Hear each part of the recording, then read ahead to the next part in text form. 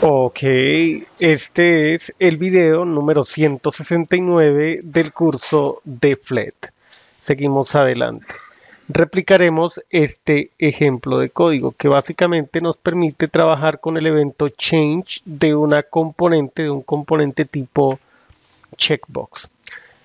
Vale, entonces en la misma carpeta, eh, a ver, esto debe quedar, en una subcarpeta que se llame checkbox. Es un módulo. Esto quedó mal escrito. Ya. dejamos ahí. Antes un commit porque cambiamos lo que hay ahí. Movimos un archivo. Entonces escribamos aquí demo, demo 1 de checkbox movida a la carpeta correspondiente. Vale. Otro archivo que se llame demo 02, demo 02, checkbox e, e change event.py. Import, eh, importamos flet con el alias flt. Importamos todos los elementos de programa que hay en el módulo flet. Page. Ok. Esto quedó mal aquí. A ver, salgamos del intérprete. Ok. Hay dos ventanas. Cierro esta dos ventanas de terminal la vía. Coloquémosle un título a esto. Eh, así puede ser. Checkbox. Checkbox Change Event. Creemos una función que se llame chk change.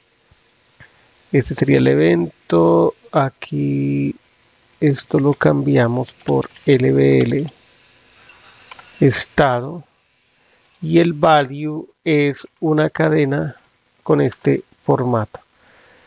Eh, el estado ha cambiado ha cambiado a según el valor que tenga. Event punto aquí sería el checkbox chk chk eh, control puede ser así Vale. Entonces, creemos el checkbox.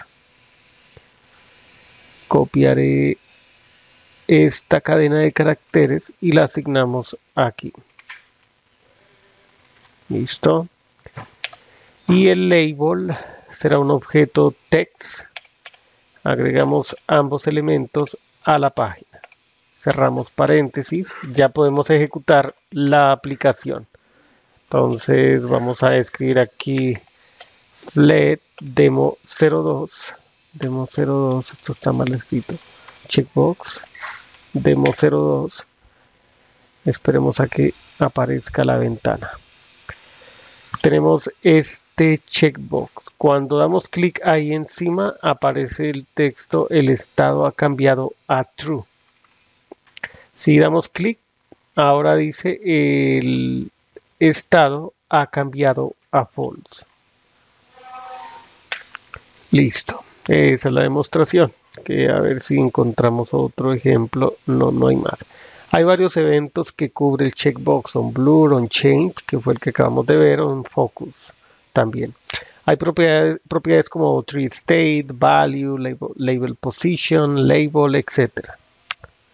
También podemos colocar colores de relleno. En el siguiente video aprenderemos acerca de Dropdown, otro componente que nos permite crear interfaces gráficas de usuario. Continuaremos en el siguiente video.